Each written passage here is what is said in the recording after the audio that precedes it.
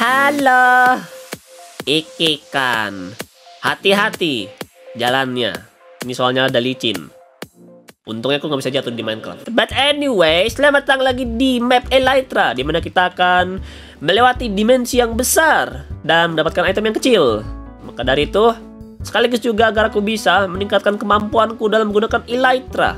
Aku sangat membutuhkan kemampuan itu. Dan kita akan langsung saja mulai daripada berlama-lama. Ya enggak? Oh, tentu saja. Kita akan mulai langsung. Yaitu adalah Delta. Hmm, basal Deltas. Kurang saya basal. Bisa dibilang begitu dengan ada portal Nether di atasnya. Tapi oke, mari kita mulai. Menuju roket sini. Uh. Oke.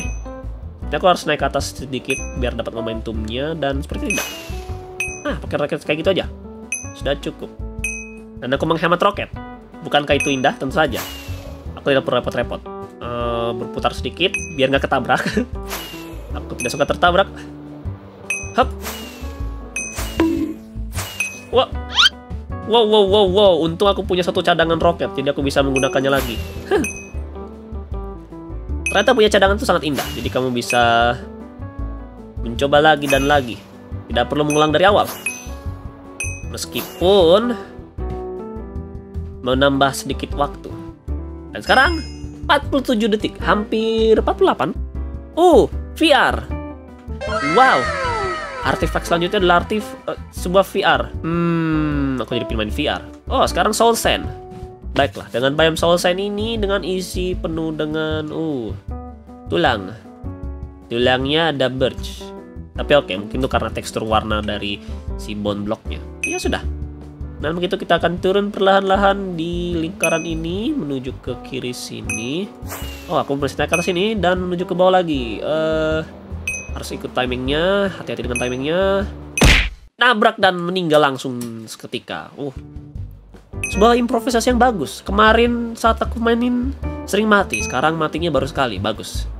Ayo nak kamu pasti bisa tidak mati berkali-kali. Setidaknya mati sekali saja sudah cukup agar minimal tahu gitu Petman yang harus dilewati dan menuju ke bawah sini menuju ke bawah dan pakai momentum itu naik ke atas lagi nah langsung turun ke bawah sini setelah itu pakai momentumnya lagi menuju ke atas dan terbang lagi ke bawah. Dan setelah itu banting setir. Berbelok kiri lagi menuju ke atas dan sampailah di tujuan dalam 40 detik. Nice. Sekarang apa yang dapatkan? Helm. Huh, helm. Oke. Okay. Sekarang adalah ship. Shipwreck. Di mana sebuah tempat kapal yang hancur dan terkarang. Bisa bilang cukup kasihan sih yang punya kapalnya. Aku penasaran berapa budget yang mereka hilangkan karena kapalnya hancur. Hep. Harus turun dulu. Nah, meluncur ke sini. Oh, ini. Namanya cukup asik juga. Eh. Aduh, nabrak. Uh panic mode. Uh, aku sampai hemat banget fireworknya. Sisa 5 dan aku kelamaan. Oke, okay, 43 detik. Masih bagus. Uh, sebuah kamera aku rasa. Ya, itu keren kamera, handycam. Selanjutnya, sebuah rumah. Oh, dan aku dalam rumah. Aku kira aku di luar rumahnya. Oke. Okay. Sekarang adalah di sini menuju ke bawah dan berputar dengan hati-hati. Fireworknya jangan lupa dipakai. Dan aku malah menembusi kaca terdengar ilegal, tapi ya sudah. Kaca lagi dan menuju ke lingkar sini dan naik ke sini dan nabrak. Aku harus ngulang karena aku tidak bisa mendapatkan momentumnya kalau di situ. Sini aku sekarang tahu cara muternya. Dan muter begitu. Naik ke atas sini. Aduh, nabrak lagi. Oke, hati-hati. Nama 10 detik tidak apa-apa. Setidaknya jangan sampai aku mati lagi untuk ngulangnya lagi. Dan menuju ke roket dan pakai roketnya langsung menuju keluar lagi dan ke sini aku harus pergi menuju lingkaran ini dan tidak sampai oh ya ampun oke aku pakainya terlalu cepat berarti putar dan menuju ke bawah langsung meluncur ke atas oh bagus nggak ketabrak sebuah improve yang baru nah balik ke sini lalu roket ke atas Aduh, nabrak, mati. Dan aku jatuh di situ. Oke. Dan ada subjek tiga, aku akan merindukanmu. Menuju roket ke atas. Aduh, mati lagi. Oke. Kita coba lagi. Aduh. Hah,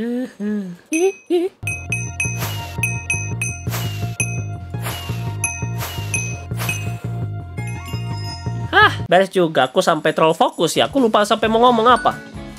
Oh, sekarang ada apa ini? Sebuah chip. Iya, aku sampaikan terus sebuah chip. Oke, nextnya adalah Revin. Oh, nonton Revin. Oke.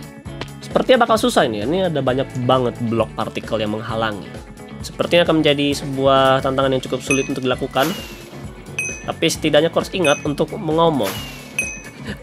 Kayaknya aku kasihkan fokus banget gitu dengan elitra yang pengujiannya. Aduh, eh speed banget. Gimana cara aku lewat di situ? How do you even live that? Oh, lewat sini sebenarnya. Oke, aku salah. Hap. Aduh. Wah, panik mode. Wah, ngeselin. Oke, aku harus hati-hati. Di situ berarti aku harus benar-benar cepat dan mengerti ke arah mana aku harus pergi. Jadi bisa dibilang cukup hmm, merepotkan. Nah, mungkin aku akan pakai momentum santai saja. Nah, begitu.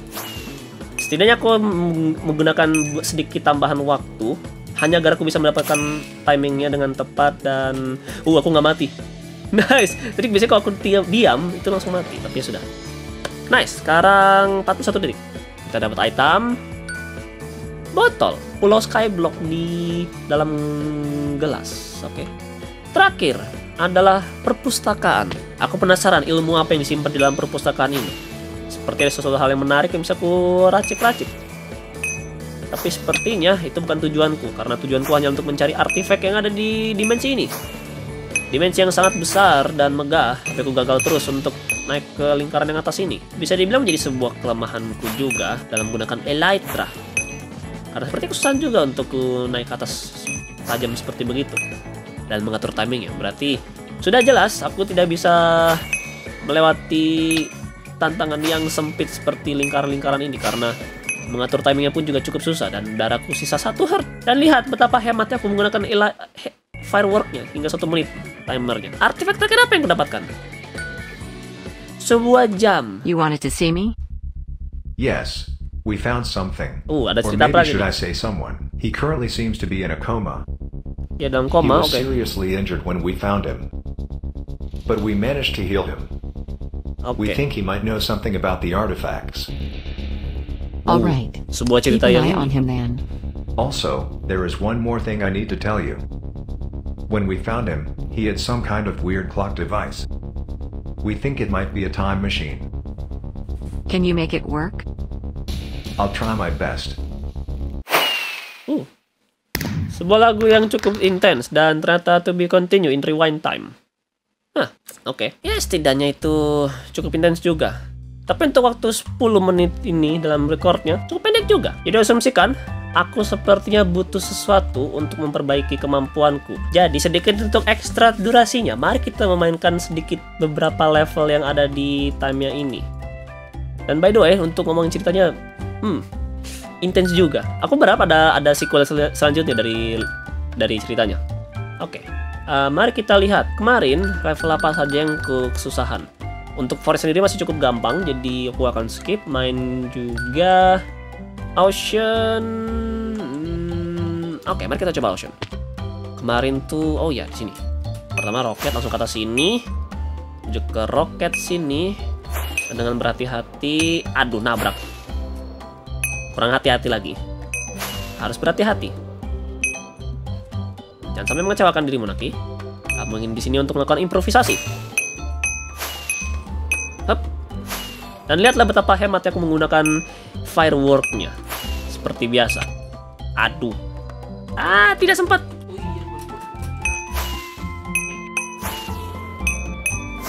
Oke, jadi aku harus hati-hati untuk tidak menabrak karena dengan menabrak itu menambah durasinya. Jadi aku ingin sekali kalau bisa jangan sampai nabrak sekalipun.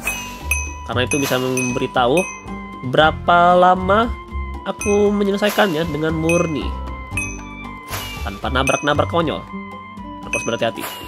Oke, belum tabrakan dan uh, cakep banget. 32 detik. Nah, lihat ini, sebuah improvisasi yang bagus, semuanya minus. Berarti tandanya aku menyelesaikan levelnya dengan improvisasi yang baik. Itu bagus, oke. Mushroom kemarin cukup baik, aku perhatikan. Lush lumayan susah, jadi aku harus coba lagi. Kita akan langsung coba speedrun. Dan dengan cepat juga menyelesaikan levelnya. Jadi kalau bisa, nggak santuy sedikit, tapi kalau bisa langsung rush mode. Jadi bener-bener mengejar waktu. Kalau bisa sampai mendapatkan timer yang cepat dan berhati-hati.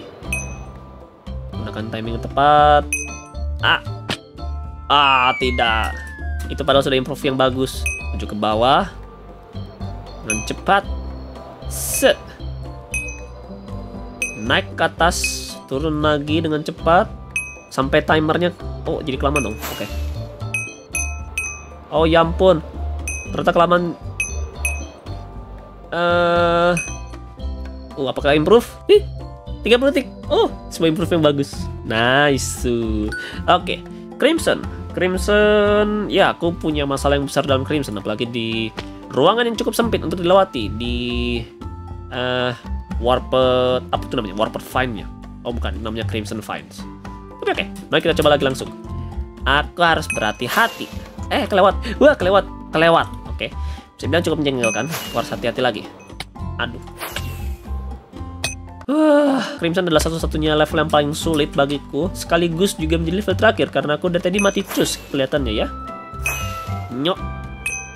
Naik ke atas. Nabrak, mati, ngulang, mencoba lagi dan lagi. Nyurok ke sini. Uh, dua detik lebih cepat. Nice. Harusnya kalau aku selesaikan levelnya ini dengan baik dan tidak nabrak, aku bisa dapat new personal base. Dan dengan gitu aku harus hati-hati. Aduh, kurang hati-hati. Oke, aku melihat diriku mati di kiriku. Nah, sini langsung luncurin aja.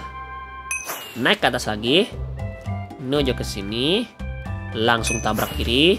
Tabrak kiri lagi dan tabrak kanan. Setelah itu langsung tabrak naik. Nah, setelah ini Nah, aku akan sedikit kelamaan Hmm, biar yang pastinya adalah aku bisa mengamankan posisinya. 37 detik, lebih baik. Sampai minus 16 timernya. Oke, aku masih punya waktu lagi untuk menyelesaikan satu level. Dan Delta cukup gampang untukku, jadi aku akan skip saja. Soul Sand kemarin itu, Soul Sand kemarin atau kan? Shape 4 tadi. Oh, ini levelnya cukup ngerush. Oke. Mari kita tes dulu saja. Bisakah aku selesaikan ini dalam satu coba atau tidak? Kalau semun tidak, tidak apa-apa. Aku nge-framing. Aduh. Ya ampun, aku langsung nge-front flip di situ. Lihatlah subjek pertama yang sangat... Oh, ya ampun, kenapa? Apa yang terjadi dengan Minecraftku nge-framing gini? Nah, aku kembali. Mari kita coba lagi. Apakah nge-framing lagi atau tidak? Harusnya tidak. Nyoh. Let's go. Kita coba sekali untuk pertama dan terakhir. Eh. Aduh, nabrak.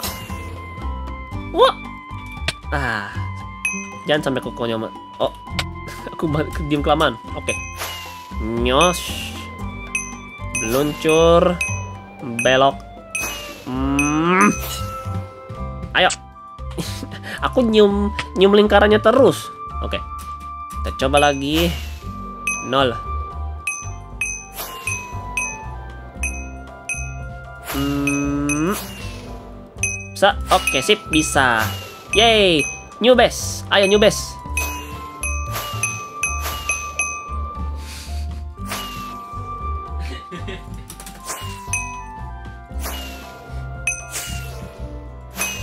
Uh. Oke, itu cukup konyol.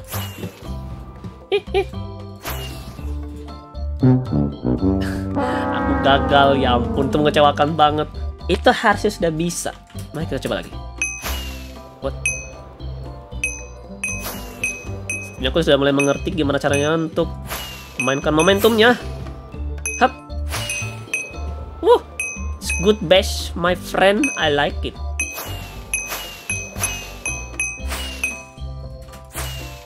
Tep. Mari kita turun perlahan-lahan dan akhirnya new best 26 detik akhirnya. Huh.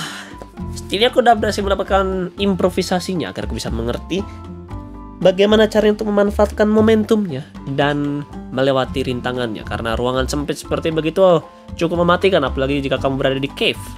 Bukankah begitu? Tentu saja. Dan bisa dibilang cukup untuk mengakhiri video hari ini. Terima kasih banyak sudah menonton. Aku harap kalian menikmatinya. Sebagai tanda kalau kalian menikmatinya, silahkan berikan like di bawah.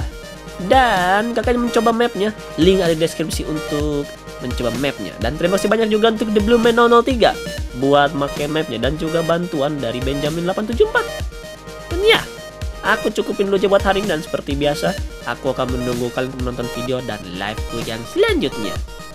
Dadah.